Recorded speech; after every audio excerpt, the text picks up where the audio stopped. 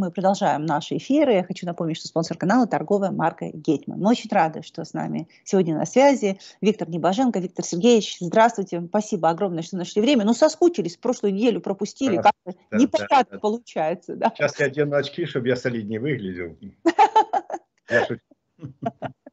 Виктор Сергеевич, ну зато эта-то неделя столько всего интересного принесла, что я даже не знаю, как успеем обговорить. Поэтому, ну, давайте, наверное, традиционно вначале вот с ваших каких-то... Да, да, давайте сначала самые общие вещи, которые нас касаются, потому что все события, которые происходят, в той или иной степени связаны с тем большим, что произошло.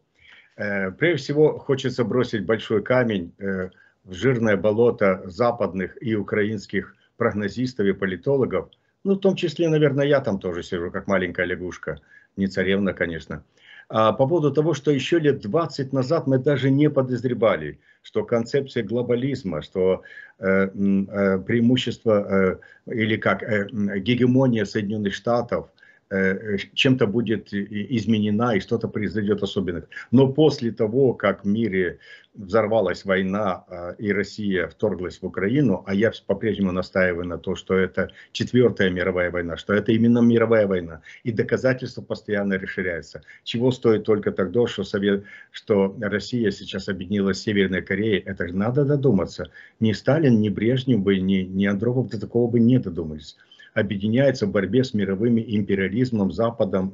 И э, очень важно, что, э, возможно, и там э, обстоятельства будут тоже очень драматичные. Первое, что произошло. Вот сначала глобальное, для того, чтобы это глобальное будет объяснять многочисленные наши сюжеты. Потому что если мы просто будем сейчас обсуждать, что было во Франции, что такое Соединенных Штатов, как прошли дебаты, мы все-таки не будем понимать, а, из, а, а откуда это все возникло. Прежде всего, еще повторяю, еще лет 20 назад, еще 10 лет, даже 10 лет назад никто не произвел, что возможен кризис глобализма. Именно, то есть как модели, то есть, э, но это даже как-то противоречит, противоречит здравому смыслу. Ну как это? Если что-то касается всего мира, то как же оно может болеть или это? Но нам сначала э, выбросили COVID, э, это был кризис глобализма, начался с ковидом, когда с одной стороны позитивные качества э, э, глобализма было, что весь мир, э, всемирные э, здравоохранения, организации, лучшие компании мира стали бороться, искать какое-то лечение, но одновременно этот же глобализм распространил эту болезнь мгновенно, как ветер э, в, су в сухую погоду э, э, разносит, э, э, разносит огонь и из какой-то маленькой, ну не маленькой, это большой город Ухань, дело дошло э, всего мира. Вот тогда впервые э, появились статьи о том, что что-то не в порядке с глобализмом, раз вот так легко э, через средства массовой информации, через э, э через э, коммуникации, через э, э, все дошло буквально за, за, 3, за 6 месяцев по всему миру. Поэтому вот потеря, я даже называю это резче, мы сейчас с вами вот летом 2024 года находимся в ситуации, когда произошла потеря первой модели глобализма. Ух ты. Потеря глобализма, да. То есть мир э, не раскололся, а рас, расшился, раз, раз, раз, э, чуть-чуть, ну не развалился, а растянулся на какие-то э, проблемы, касающиеся различных крупных регионов. Второе. Э, э, э, после войны 20, после начала войны 22 года России против Украины постепенно стал нарастать совершенно непонятный процесс, который тоже никто не прогнозировал. Развал мировых регуляторов, ООН. Ну вот когда происходит, да, ООН, ну кто мог подумать. Вот сейчас происходил саммит в Швейцарии, и он уже не подписал документ, и он обиделась, потому что говорит, а почему это не на площадке ООН? Почему это на, не на заседании Генеральной Ассамблеи? Почему это не через Совет Безопасности, а через 7, 7 э, великих государств и так далее? Четвер, четвертое. Э, повторяю, что на, с, с Украины началась война. Кажется, это же вся история э, и Европы, и мира говорит о том, что война мировые начинается через большие государства но не через маленькое, когда одно большое государство напало на маленькое государство и слабое, Россия напала на Украину, а вы это считаете, потому что вы видите ли украинцы, вы считаете, что с этого мир рушится. А сейчас уже за этих два года хорошо видно, что дело не только в том, сколько земли захватила Россия, а сколько Украина отбила. А дело в том, что разрушивается система урегулирования международных отношений, не работает система гарантий, не работают соглашения. Мы говорим про Стамбул, мы говорим о новых переговорах и соглашениях там с Россией, как-то надо ставить войну. Но все прекрасно понимают, что сам институт соглашений, сам институт гарантий не работает. И это заставляет замолкать даже самых опытных дипломатов. А также э, очень важно, что тут, на взгляд, что вскрылось противоречие между фундаментальными, э, э, между несколькими регионами. То есть, с одной стороны, казалось бы, глобализм когда-то поглотил идею двухполярного мира и конфликта между ними, который начинался с 1945 года по 1991. А с другой стороны, мы видим, что после саммита, четко, саммита в Швейцарии, это его один из главных результатов – кроме украинских результатов, э, заключался в том, что мир разваливается на, на два блока. На два блока. И, глоба, и глобальный юг, который очень сильно гордился тем, что он глобальный, это скорее европейская метафора, это скорее ловушка, это скорее э, способ э, манипулировать со странами то, что всегда откровенно называлось третьего мира. Третьего мира. Потому что если даже БРИКС не может стать субъектом сильной политики, хотя бы из-за конфликта России, Индии и Китая. А про глобальный мир говорить ниже. Сразу хочу в сторону бросить один маленький шар. Э, я читал недавно одну статью, где автор очень умно сказал, говорит, больше всех намучается с э, глобальным миром Россия. А он, кстати, не россиянин и не украинец. А я так сразу насторожился. А, а ему-то чего? Наоборот, э, наоборот, он сейчас занимается какой-то антиколониальной политикой. Он говорит, глобальный мир э, начинает специализироваться на нов, новой э, колонизации третьего, от третьего мира. ИГИЛ, мусульманский экстремизм, массовая антизападная культура в Европе, все это влияние глобального мира мягкая сила глобального мира или грозная.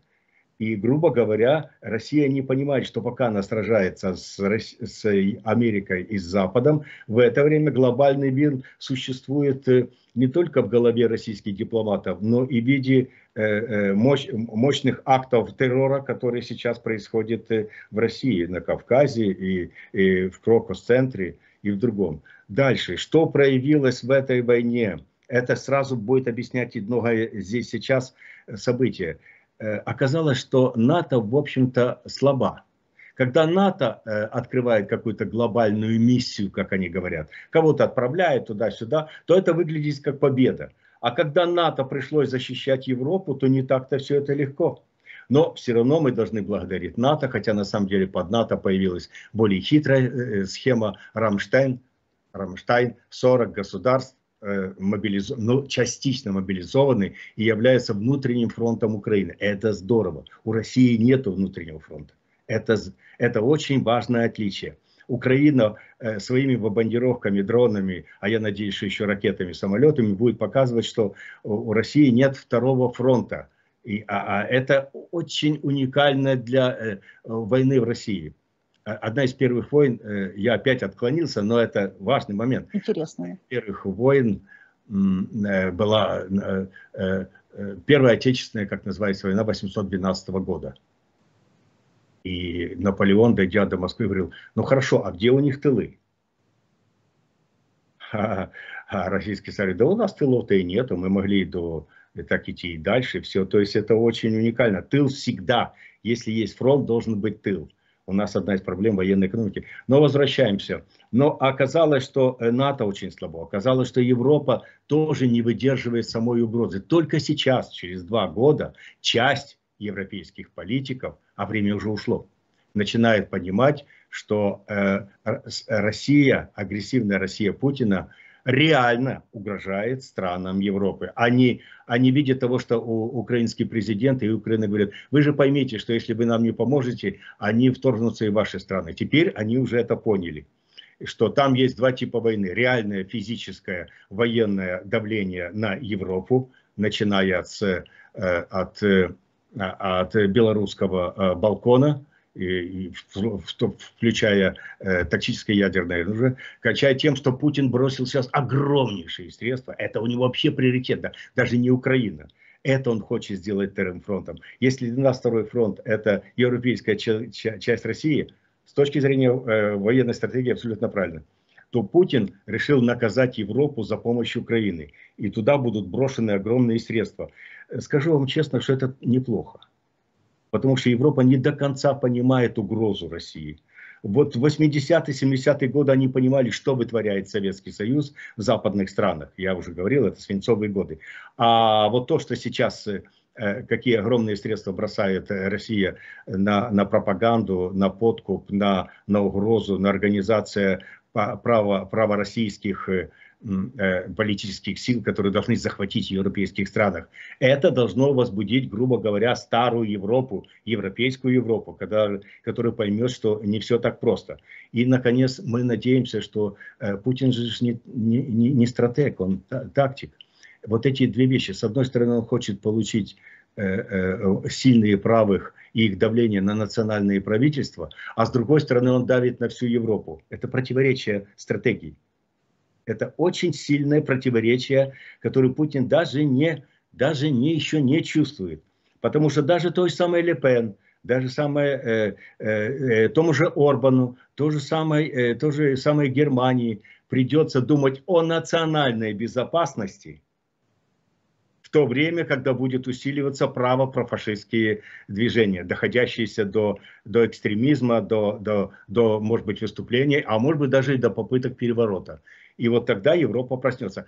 Э, чтобы далеко не уходить, э, видите, как все связано. Поэтому э, Макрон, у него есть как бы тайный план, план «Б». План, план А, это вы знаете, резкое вдруг открытие а, а, объявления о выборах, где точно побеждает правый. Но не может быть, что он сам себе готовит могилу. Такого же не может быть. Тем более, что конфликт между Макроном и Ле Пен будет очень, очень жесткий. Просто он, он хочет довести угрозу правых и угрозу Путина до такого состояния, когда э, Deep State и общие европейские институты э, вдруг мобилизуются против России. То есть это довольно хрупкий план, но он нас очень устраивает. Очень.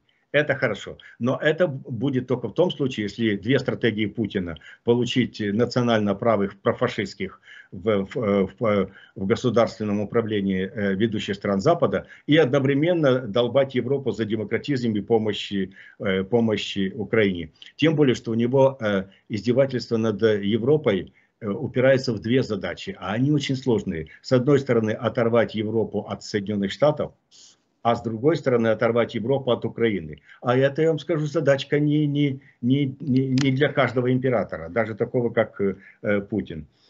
Ну, еще раз, э, э, заканчивая, заканчивая коротко, Э, существуют э, вот эти группы, которые кроме э, угрозы или хотите тени, стратегической тени на мировом уровне, когда наша глобальная модель не справился с задачами, начиная с ковида и кончая войны в Украине, все-таки рассыпается на несколько больших регионов, в каждом которой есть свой родимый или как естественное противоречие очень сильно.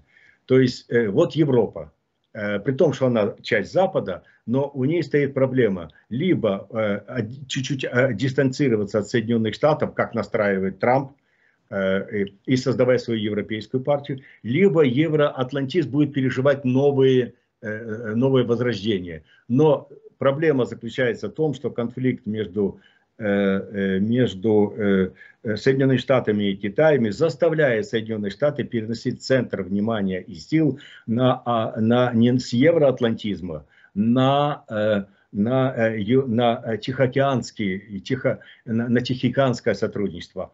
А курс, который они создали, оказывается, полтора года назад. Я всегда спрашивал, а зачем это надо? Зачем новые альянсы? Потом посмотрел американские стратегические документы, там, там действительно сказано так, что Соединенные Штаты уже самая первая страна, самая мощная, но управлять миром она будет через альянсы. А, тогда понятно. Но теперь оказалось резкий ход э, по обострению обстановки на э, Дальнем Востоке э, оборонный, э, оборонный союз Северной Кореи с Россией как раз говорит о том, что американцы пред, пред, пред, предчувствовали, предсказывали, правильно поступили, а укус у них уже есть. А Китаю, России и Корее еще предстоит, Северной Корее, еще предстоит создать свой антинато. А у Соединенных Штатов, у Японии, у Тайваня, у Южной Кореи уже есть этот аукус. То есть, ну, в общем-то, пока, пока в глобальном масштабе, в конфликте глобального Китая и глобального Запада, не, не Соединенных Штатов, а именно Запада, это будет э, наша с вами мировая ловушка, потому что Китай не понимает, что нельзя э, выступать против э части человечества можно выступать только против конкретной страны, обвиняя ее в чем-то. Он это не понимает. А Запад это уже понял.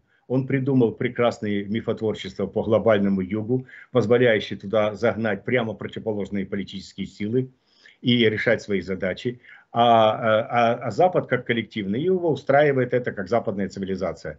Поэтому я думаю, что э, все это будет разгораться, потому что Путин не просто приехал в Северную Корею. И разговоры о том, что Китай этим недоволен, неправда.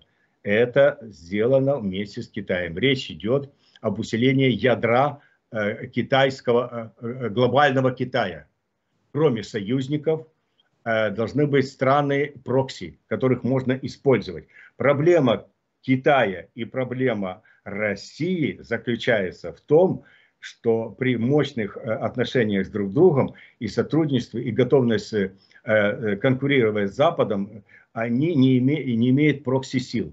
То есть нет ни одного союзника на стороне России, который бы выступил сейчас. Но Орбан же не будет воевать с Украиной, вы понимаете, да? А вот Иран имеет у них есть хуситы, у них есть э, Хизбаллах, у них есть Хамас.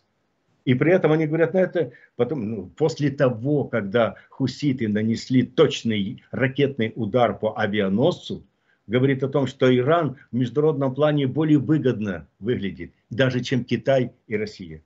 Ну вот коротко так, перед тем, как мы перейдем к, э, к, к, к дебатам, перейдем к России.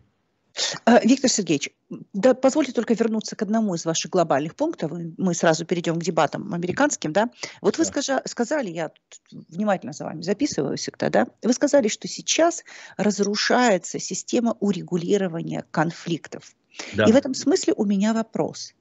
А вот в какой момент она начала разрушаться? Потому что ведь э, последние там сколько, я не знаю, там несколько десятилетий мы только и видели одни неурегулируемые конфликты. Да? Мы можем вспомнить Карабах, по которому там 30 лет существовала Минская группа, которая просто ну, свелась просто ну, каким-то регулярным встречам ни о чем. Мы видим историю в Грузии, и, и, и я думаю, много можно назвать таких точек.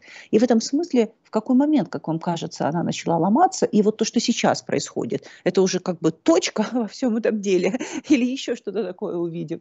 Да, я к тому же еще обострю ваш вопрос. Если действительно произошли э, такой кризис э, э, мировых регуляторов, то как возможен мир между Украиной и Россией?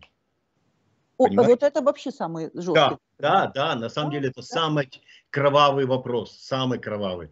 Никто не хочет обсуждать перемирие и вести переговоры о прекращении огня можно до, до бесконечности. Можно даже практику вводить. Но это не коснется подписания документов. Не коснется. Э, вернемся сюда. Все после 20, э, февраля 22 года. Все началось. Потому что это же была первая, э, э, э первая война за 75 лет в Европе. Это не была война в Корее, это не была война в Бразилии, это не была война э, в, ну, давайте еще где, ну, даже Ближний Восток.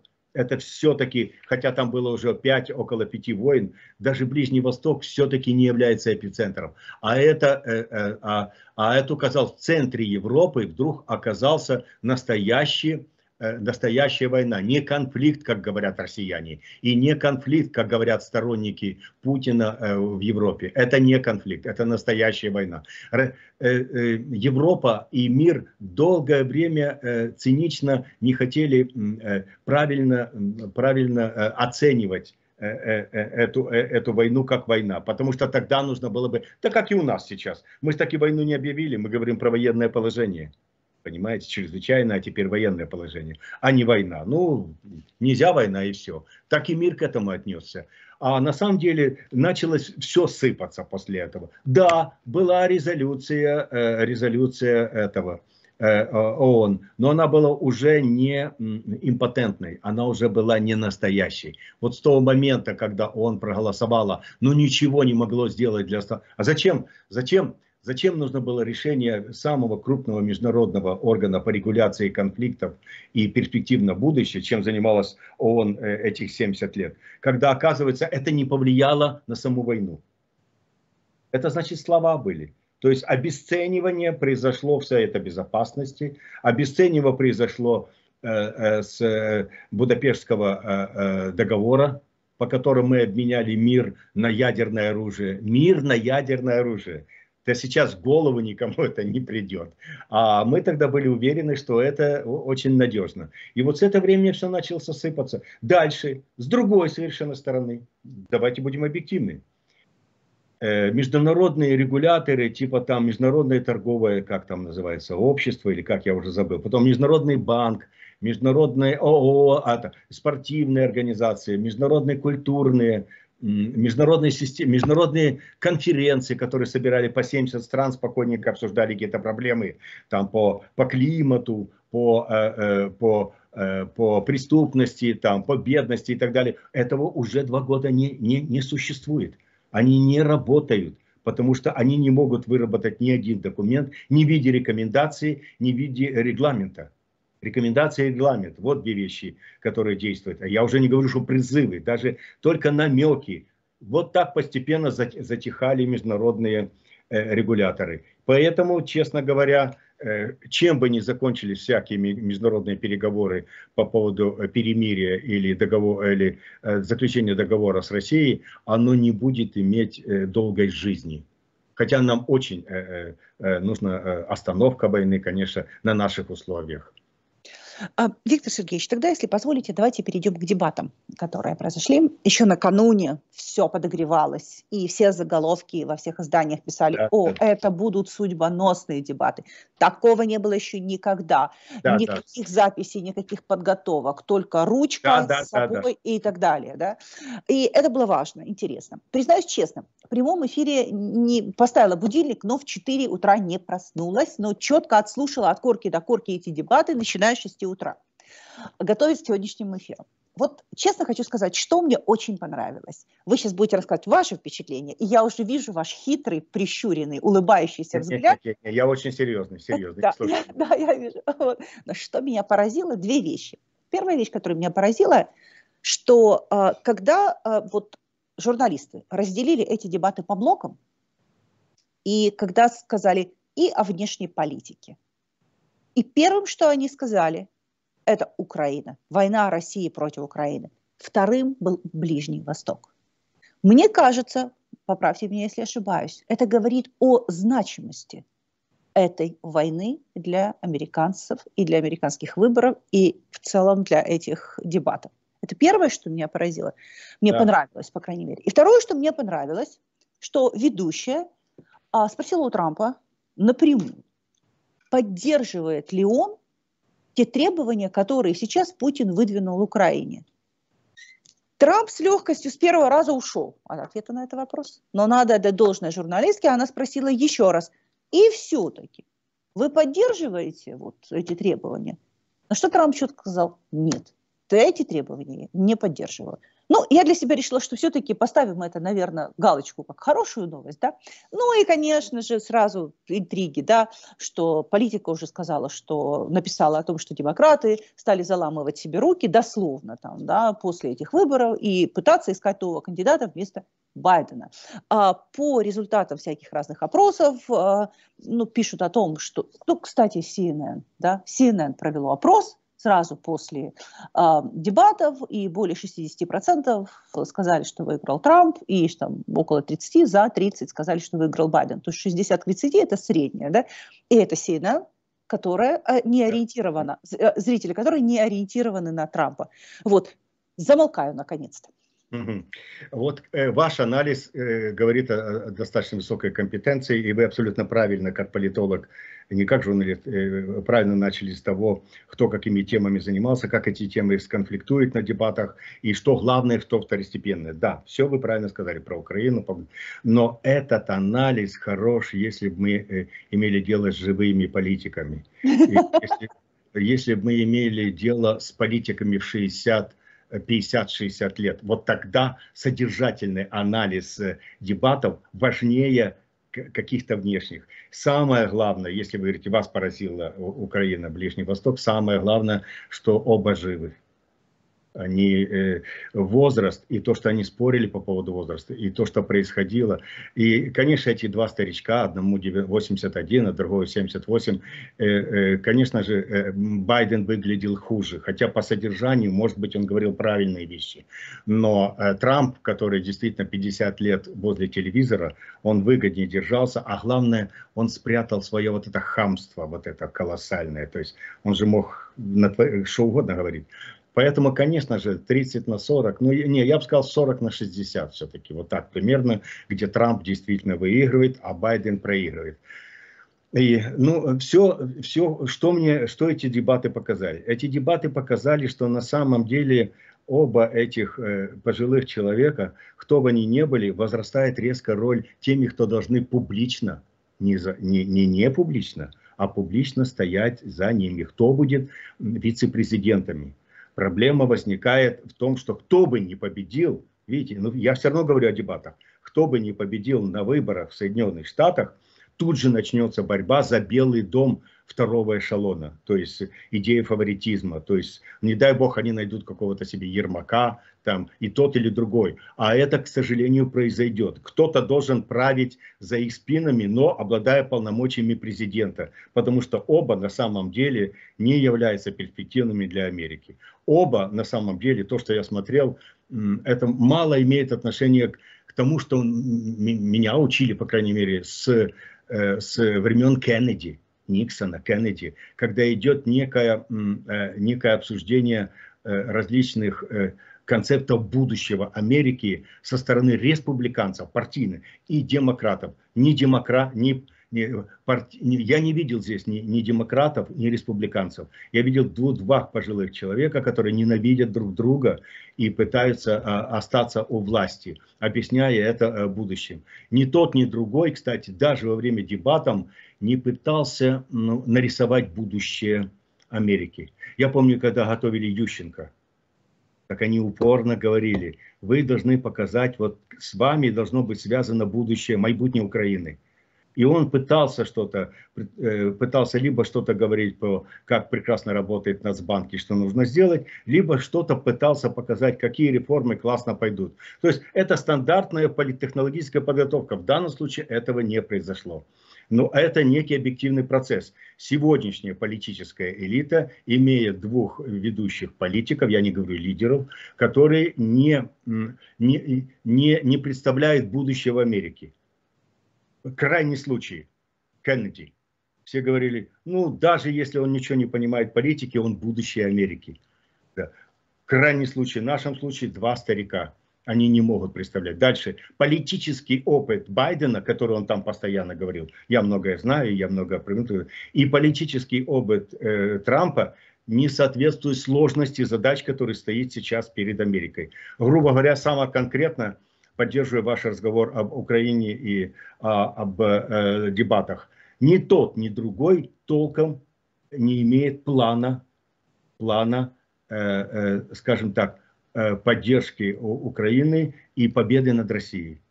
Все говорят дипломатическим языком то, что называется э, это, условия переговоров ни, ни, ни, ни Байден, ни Трамп не высказал четкой позиции относительно того, как пойдет ситуация.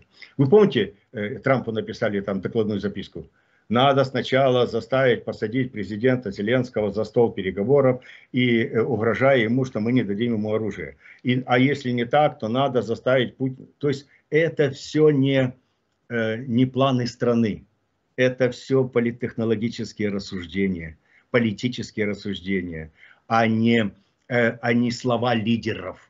они не выглядели лидерами как по опыту, потому что ситуация в Америке чрезвычайно сложная, и задачи внешние и внутренние чрезвычайно сложные. Это говорит о том, что они не будут править. Кто бы ни победил, хорошо видно по этим дебатам, за ними будет стоять не Deep State, а какая-то группа сильных профессионалов, которые, естественно, будут править вместо Трампа и вместо, э, вместо Байдена. И, э, к сожалению, э, это, это, это очень важный момент. То есть нет этих планов. И э, что по общему результату? Ну хорошо, я включаю просто то, что я практически участвовал во всех избирательных кампаниях против, против Донецких. С Донецким их кандидатом я не имел дела, хотя хорошо его знаком. Когда работал в администрации президента, мы собирали, помню, документы, кого сделать губернатором и заместителем губернатором в Донецке. И тогда я, я прихожу потом к Кучме и говорю, а как вы можете его ставить э, э, э вице, э, вице-губернатором, заместителем губернатора, если у него три ходки, а четвертое изнасилование и так далее. А Кучма говорит, слушай, он же будет заниматься хозяйственными делами. А потом же нам же как-то надо, э, э чтобы, чтобы бандиты имели отношение к большой донецкой работе. Не будем с ними ссориться. Вот так вот появился когда-то э, э, будущий президент Украины. И я хочу сказать, что а, а, вот это, я ушел в сторону, но я хочу сказать, э, о чем идет речь. Это, эти дебаты не стали судьбоносными ни для того, ни для другого. То, что они остались живы, это хорошо. То, что там есть какое-то распределение тончайшее, тоже хорошо. Все. Второе, я не думаю, что эти два старика возбудили Э, правых или левых, ой, так нельзя говорить, республиканцев или демократов. Впервые в Соединенных Штатах появится, больш... по результатам этих дебатов, появится большая группа американских избирателей, которые мы называли сюда ситуационные избиратели, то есть которые придут на выборы и примут решение в пользу Трампа или Байдена прямо на избирательных участках. Это приведет к некому э, обострению, что в день э, выборов первые же, э, первые же социологические опросы будут показывать преимущество одного кандидата над другим плюс-минус 5%. Это будет некая сенсация. Это будет то, что противоречить будет прогнозам всех социологических служб. Почему? Из-за вот этой большой группы ситуативных избирателей, для которых дебаты и сама избирательная кампания не стали э, поводом или мотивом идти на выборы, а только просто участие в американской политике, участие, э, длительное э, участие во, во всех выборах заставит их прийти на выборы и проголосовать. Это понятно. И еще одно важное обстоятельство, которое э, прямо с дебатами не связано, но, но связано с одним из участников дебатов.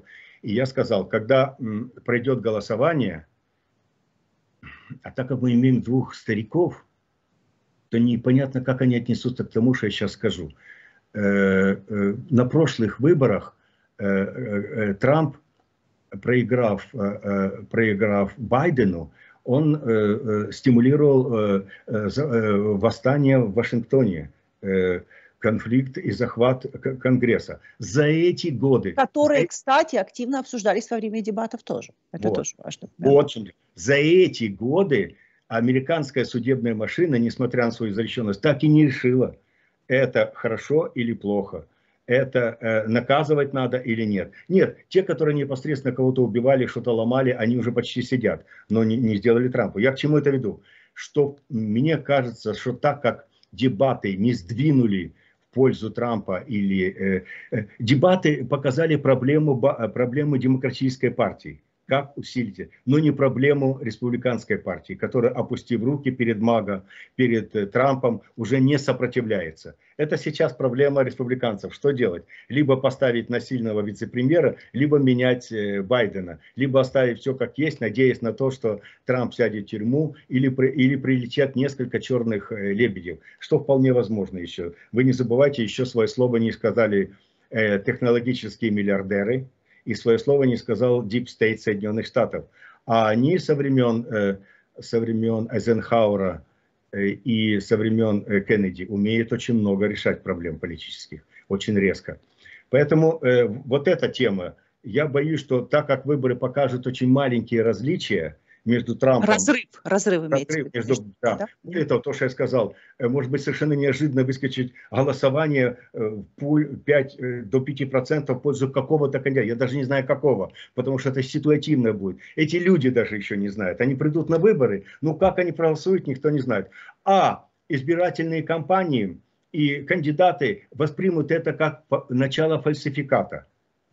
И в результате мы можем получить обязательно то, что было уже про, на прошлых выборах и становится традицией. Когда один кандидат скажет, э, что у меня украли выборы, и попросит своих избирателей идти на штурм либо Белого дома, либо Конгресса. Вот в чем проблема. Потому что не Трамп и не Байден не обладает лидерскими способностями, способными управлять своими избирателями после окончания выборов. А, тут маленький прогноз, если хотите, Виктор Сергеевич, не знаю, захотите или нет. Считаете ли вы, что кандидатура Байдена будет заменена? Об этом как-то говорилось достаточно так с намеками, полупрозрачно. А, ну вот после этих выборов появилась информация, стали многие издания публиковать как топ там э, новость, что демократы стали дословно, да, заламывать себе руки и говорить, ну все, вот теперь нужно что-то делать. И вы очень тонко сказали, либо играть вице-премьером, да, либо да. менять. И вот в этом смысле, как вы считаете, насколько тут у Байдена есть шанс да. все-таки остаться? Давайте так, я вам скажу честно, э, про, про Украину, потому что я не проводил избирательных кампаний в Соединенных Штатах. Э, вот дав, давно уже, давно, несколько лет назад меня один очень богатый человек, но такой аккуратный, теневик, он не светится нигде, ничего. И он меня как-то спросил, между прочим, а все говорили о чем угодно, только не, не о политике. А это всегда интересно. Почему? Я же политолог, я же не рыбак, я там не любитель кардибалетов. Там, да, я не... Они геополитику воспринимают через туризм, вот где они были. Я им говорю про Японию, они говорят, о, да, я там был две недели. вот так. Я, им, я им говорю про Францию, они говорят, да, Южная Победа, да, да, конечно, у нас же там то, то есть. То есть, к сожалению, они, э, геополитика совершенно иначе, ну, как с разных планет. И, и вдруг неожиданный вопрос. Э, Виктор Ильич, ну вот а если вы говорите, что сейчас нету подготовленного политика, который мог бы конкурировать, повторяю, это не с сегодняшним президентом, связано 10 лет назад. Но это отвечая на ваш вопрос. И ну, а нового политика с нуля евро, это очень дорого. Нет, нет, это вас не должно касаться. Это, не, не, это же тема коллективных, это не то, что я спрашиваю. А я говорю, 6 месяцев, и я из обычного человека сделаю вам яркого лидера. 6 месяцев. Поэтому, возвращаясь к ответу на ваш вопрос, если у э, демократической партии и их спонсоров 6 месяцев для того, чтобы из человека, который просто находится сейчас в нормальном стартовом, а их человек 15 сейчас, не меньше, то есть какой-то конгрессмен, какой-то бизнесмен, какой-то э, сторонник идеи или сторонник там борьбы за какую-то чистоту, какая-то яркая какая-то личность, по, по, скажем, скажу очень цинично, по поводу которого республиканцы не успеют нарыть компромат. Шесть месяцев. За четыре месяца, я не знаю, сколько осталось? Ну, меньше шести месяцев. Я только хочу сказать, что нет же шести месяцев. Опять там сойдет 4-5, как? Что скажете по вашему опыту? Да, ну, я не знаю. Меньше четырех месяцев я не верю, в, я не верю в, ни в удачу, ни в надежду, ни в возможность никаких сегодняшних политологов э, заменить Байдена на другого. Но если до четырех месяцев такая, такая личность появится, э, то, ну, в общем, это э, на самом деле, в отличие от нас с вами, который примет любого президента, мы с вами добрые люди и понимаем, что Украине приходится, придется работать с любым президентом. Мы признаем а, а выбор американского народа, что же? Да, да, да мы не знаем выбор американского народа. Но, повторяю, от 6 до 4 месяцев можно сделать э, э, яркого, еще яркого кандидата. И, но на самом деле, ответ более циничный, э, глубже я хочу, не политтехнологический, а чисто политический разговоры про смену Байдена имеют несколько целей. Первая цель – это э, расслабить э, Трампа.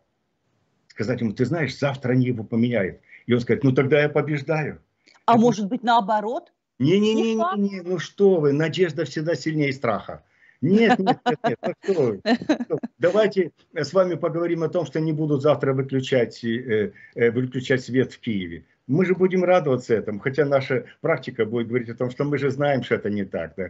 Давай скажем, давайте скажем себе о том, что э, через неделю нас больше не будут бомбить и разрушать и уничтожать людей. Мы понимаем, что это просто надежда. Человек цепляется за надежду больше, чем... Хочу маленькую ремарку сделать. Вот что значит настоящая прозорливость опытного э, политического аналитика и политолога. Только сказал, не будут выключать свет. Ну и вот сразу и... все равно я, все равно сказал, что в психологии человека минимальный баланс, он может сводиться э, вот мы с вами, мы очень э, интересные, глубокие личности, ценим себя, но на самом деле в чрезвычайных ситуациях, это не дай бог, не буду сейчас применять там аресты, э, атомные взрывы или просто неприятности, нет, не неприятности, трагедии, человек сводится к двум вещам, к страху и надеждам.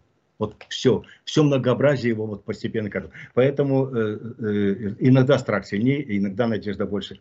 Но я уже сказал, что нужно от 6 до 4 месяцев для того, чтобы с неких с низкого старта добежать первым э, э, э к финишу с низкого, а потому что Байден на высоком старте, это понятно. А, а теперь возвращаемся к чистой, э, к чистой политике, не политтехнологии, политике. Э, первый вариант – разговоры о о смене Байдена, это очень ласкает э, Трампа. Типа, ну я же, значит, значит, я победил всех их, Обаму, э, Клинтон, Шу, в кавычках, я извиняюсь, иронизирую, э, э, этого э, Байдена, его сына и так далее. А уже если дадут нового, то я расправлюсь, я же сильный. Это расслабляет, я вот что хочу сказать. Разговор об этом они не, не концентрируют. Очень трудно сказать, тут есть какая-то ловушка. Ну, Господи, как хорошо, ведь любого другой же не успеет самореализоваться. Это первый. Это первый. Второе, чистый блеф. Вот как в картах. Давайте поменяем того на другого. Это э, заставляет всех поли, э, политтехнологов и политических аналитиков э, тревожиться, обсуждать, анализировать. Чистый блеф. Это такой Третий – это запасной вариант. Я не думаю, что демократическая партия и их спонсоры, и ведущие политики, и э, крупные эксперты не понимали, что Байден очень стар, и даже если он дотянет до, до выборов и победит Трампа, что это э, красивый результат. Только-только вся проблема начинается. И избирательная кампания потом покажется э, всего лишь легкой прогулкой. А мы сейчас думаем, что это самое тяжелое. Самое второе, это как сформировать полноценный потом э, управленческий механизм, Белый дом. Он очень тяжелый будет, очень тяжелый. Если этого не произойдет, то произойдет то, что в политологии во всем мире называется резкое увеличение законодательной власти над исполнительной. Понятно, да? То как... есть усиление Конгресса. Да, да, сразу же. Ага. Конгресс тут же начнет как бы отодвигать красные линии, выстраивать слабому президенту. Это не потому, что они плохие демократы или республиканцы, а потому, что у них есть политический интерес как законодателей. Это же всегда, это всегда движется. То сильный президент, то слабый парламент. А если слабый президент, значит усиливается обязательно, потому что свято э, пусто мест не бывает. Там, где власть, оно должно полностью быть заполнено до краев до упругости. Если этого нет, значит включаются внешние силы. Еще хуже. Поэтому Конгрессу придется или новому президенту придется. В нашей ситуации ни Трамп, ни, ни Байден не будет конфликтовать с Конгрессом. Вот что уже ясно.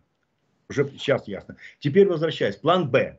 Да, я думаю, что на самом деле у демократов есть такой план Б, что если что-то произойдет с Байденом, они попытаются поменять. Сейчас пошли такие э, политтехнологические статьи в пользу э, э, вице-президента. Э, э, вот мне надежде. Но проблема заключается в том, что, э, ну что, мы можем прямо с вами сказать, э, э, э, Трамп передавит. Он сейчас, он движется, он сильней. Э, она не справится с ним. Это должно быть абсолютно свежая свежих, сказать, существо, абсолютно свежий, молодой или среднего возраста политик, который не испугается Трампа. Вы а. сейчас говорили о Хеле, когда говорили «она». Да. Вы Хели имели в виду, да? да, да, да. А, угу. Нет, не о Хеле. А, э, кто вице-президент у Байдена? У Байдена Харрис, Камала Харрис. Я просто думала, вы когда говорили о Трампе, я подумала, что вы вспомнили. Нет, извините, нет, не, не, не, не. Я, мы обсуждаем, да, обсуждаем а. сейчас э, план Б, когда вот. э, Демократы с самого начала знали о том, что Трампа, ой, Байдена придется менять. Потому что республиканцы с самого начала знали, что Трамп им даст по рукам и не даст возможности им кого-то изменить. Это очень важно. Байдена можно менять, Трампа уже нельзя поменять. Ну, 78 лет медицины на таком уровне, что а, она уже не, не даст ему умереть до выборов. Но там все равно, как и в случае с Байденом, начнется яростная борьба, которая в Америке не была принята до сих пор. Когда кто-то не просто станет фаворитом, а какая-то целая группа заменит президента. Этого необходимо. Иначе, мы с вами сказали, Конгресс начинает, начнет перебирать тихонько-тихонько полномочия аккуратненько, тонко, как это не умеют делать. Ну, ради бога, мы с вами видели, как Джексон работал здесь. Вот этот путь, наверняка у них есть такой человек. Это какого-то среднего возраста, это может быть конгрессмен, это может быть какой-то сильный политик, э, но главное, чтобы на нем не было компромата чтобы завтра газетчики не выбросили массу, массу этого, что он кого-то э, абьюзом каким-то занимался, что он кого-то опять изнасиловал, что он, оказывается, в детстве э, э, гитлеровское приветствие или еще что-то. Это очень трудно такого. Но мне кажется, что план Б обязательно есть. И у них есть несколько человек, может быть, это связано с Харрис, может быть, еще с кем-то, понимаете? А, а Хейли это только Хейли, Хейли это республиканка. Да, да, это я просто вы сказали не, Трамп, не, и я поэтому там, Да, и Байден категорически ее не даст. Да он никого уже не пустит, понимаете? То это уже все, вопрос решен. С Байденом. И есть четвертый вариант. Значит, первый, э, мы сказали, это игра на нервах Трампа. Второй вариант, это блеф для всех. Просто вот бросается в общественное мнение, что Байдена надо менять. Вот пока я вижу это так. Третье, у, у демократы все-таки серьезные ребята, деньги огромные, и у них все-таки есть запасной вариант, когда Байдена можно поменять. Но я вам сказал, не больше четырех месяцев. После этого, после этого вы просто не, не сумеете, да не, не то, есть же две вещи. Э, э, назвать продукт товаром, и второе, э, сделать продукт э, э, э ну, продаваемым. Есть две вещи. Э, э, телефон показать и, назвать его цену. И второе, э, заставить избирателей или покупателей купить этот телефон. После четырех месяцев нельзя продать никого вместо Байдена. Вот чем дело. А... И четвертое, четвертое есть. И что же четвертое? Плохой черный лебедь покушение либо на Трампа, либо на Байдена, которое механизирует и объяснит, почему нужно сделать смену. Самое главное в смене с Байденом или с Трампом заключается найти мотив, когда избиратель скажет, а какого хрена вы нам тогда голову морочили все время? Вы же должны были отобрать, почему вы сейчас это делаете? Они, это Путин так делает.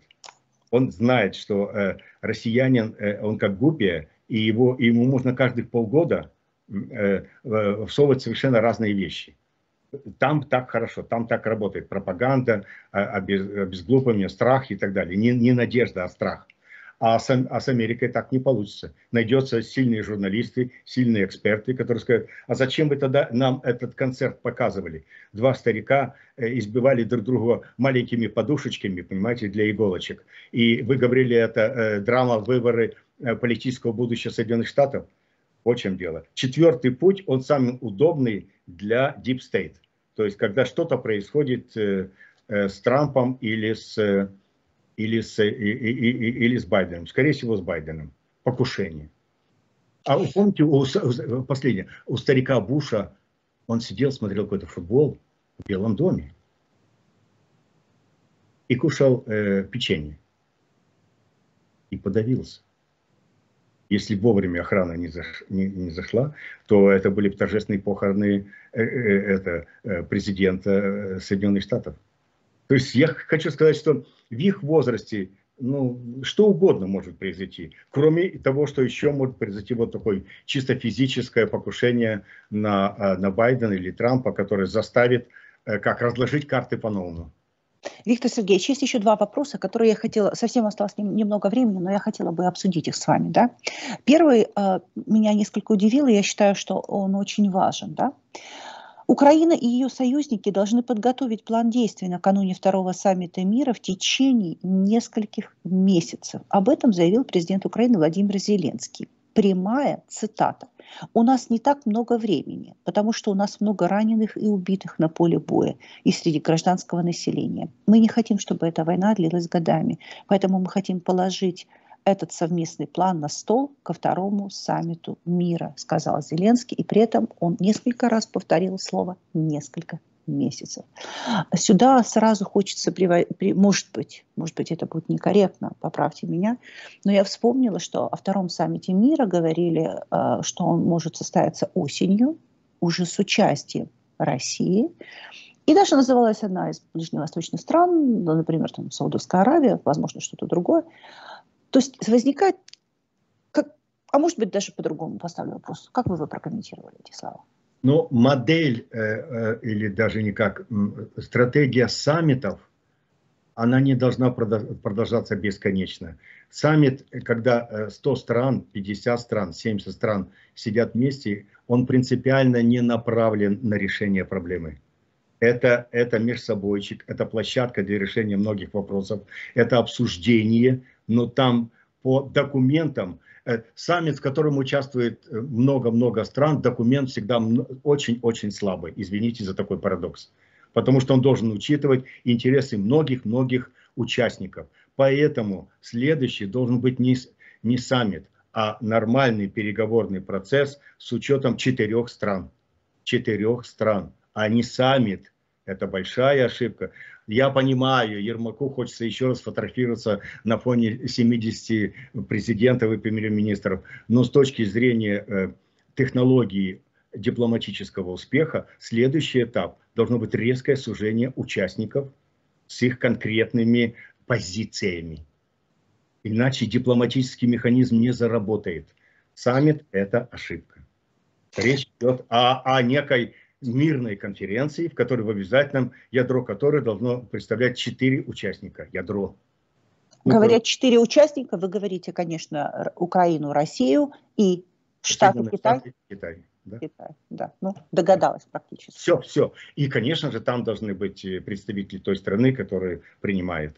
Если Обидеться, это... обидим же наших партнеров из Европейского Союза, между ну, прочим. нет, так, ну, ну, а что делать? Дело в том, что так так устроены э, успешные дипломатические э, э, процессы. Неуспешные занимаются широкими коллегиальными обсуждениями и все. Ну, вот классический вам пример. Венский конгресс. Собрались после, после победы над Наполеоном, собрались цари, там кто императоры, главы, главы королевских домов. Их было немного их было немного. И вот эта немноженность позволила им сформировать э, вещи о балансе сил, о, о том, что э, передел Европы очень плохо. И это держалось 50 лет. Как раз из-за того, что было немного. Тегеранская конференция. Э, я вам скажу больше. Вот я помню, читал воспоминания кого, кого-то, кого-то, сейчас уже не помню, и там говорят, влетает Деголь а мы, говорит, с Рузвельтом, со Сталиным и с Черчиллем обо всем договорились. Влетает Деголь, говорит, я не прощу этого, надо... То, то есть увеличение в переговорном процессе, э, особенно при, при капитуляции или про э, мирном соглашении, хотя бы на несколько участников, мгновенно усложняет движение дальше. Это станет понятно через пару месяцев. То, что пару месяцев осталось, это говорит о том, что президент нас готовит так. Ну, говорит, ребята, вы же не сумели выдержать э, мою унизительную, брутальную мобилизацию, а там люди уже страдают, у нас сил нет, нам придется идти на соглашение.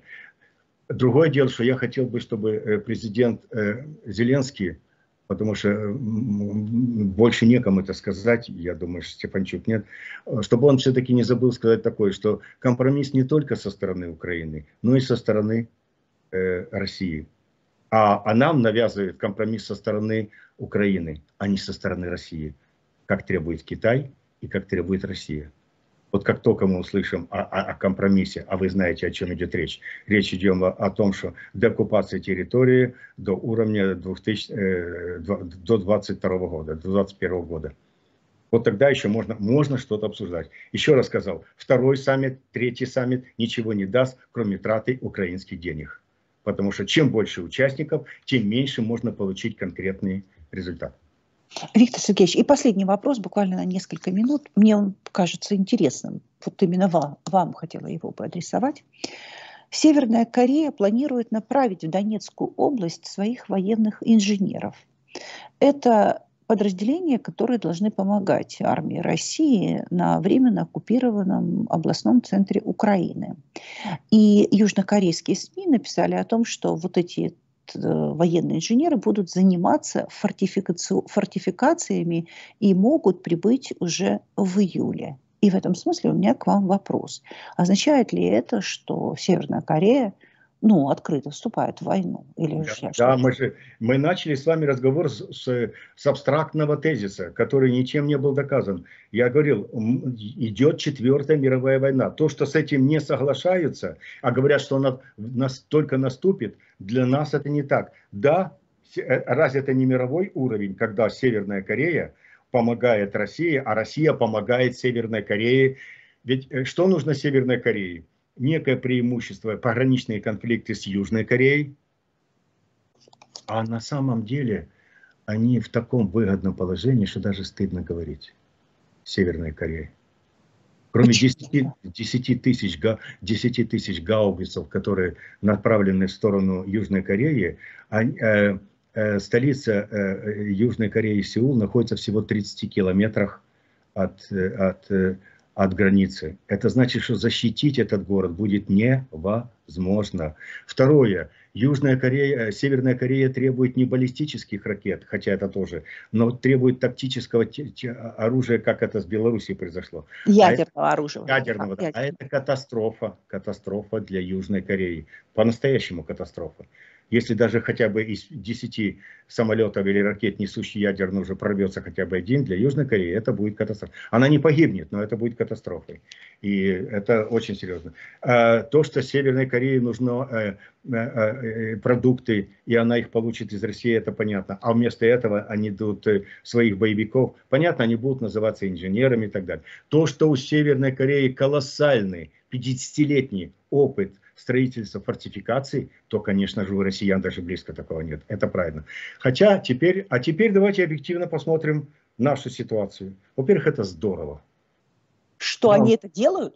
Ну, конечно, конечно. Ну, почему же это здорово? Потому что это означает, что Запад может спокойненько дать своих советников, своих, как вы выражаетесь, инженеров, своих спецназа. Это то, так нам не хватает. Тем более, что у нас уже есть закон, э, который предусмотрительно сделан Верховной Радой, о том, что разрешается иностранцам участвовать в боевых действиях. Все в порядке. Ну, там как, как корректно как-то написано. Но так надо, чтобы Одессу, Херсон, и другие города, Кривой Рог, Харьков прикрыли уже, скажем так, волонтеры и добровольцы, Понимаете, когда Запад говорит, что мы готовы дать вам 150 самолетов, но у нас только 22 подготовленных э, украинских летчиков, которых они не уверены, что они не разобьют эти самолеты. Понимаете, какая беда? Когда, э, когда Германия давала свои знаменитые танки, на которых крест, который сбесила так российскую армию, то она не боялась э, непосредственного конфликта с российской армией. Она боялась, что россияне ну, начнут громить эти танки, и это все вылезет снаружи. Ей не хотелось этого всего, это правильно. Патриот запустил ракету, и все, и сделал свое дело. Точно теперь положение у Запада. Они готовы, и в Америке, они готовы дать нам самолеты, но они не хотят, чтобы эти самолеты сбивала Россия чтобы выглядели, что это самолеты низкого качества. Их же надо продавать по всему свету, понимаете? Не о нас идет речь. А вот если в этих самолетах будут сидеть ветераны американских летчики, которые по 30 лет эти самолеты закрытыми глазами э, знают, это будет совсем другой бой с россиянами. Совсем другой бой. Поэтому, возвращаясь, это неплохо. Пусть они посылают. И, а второе, это уже э, отношение к малому народу Донбасса. Ведь вы, наверное, помните то время, когда Донбасс чувствовал себя самым сильным государством в Украине. Конечно, мы Донбассы, мы, мы, реги... мы, не, мы, не, не, мы, реги... мы не регионалы. Мы, мы те, которые держат на себе всю экономику э, э, Украины. И, и, и так далее. И население, жителей Донбасса где-то гордились своим особым.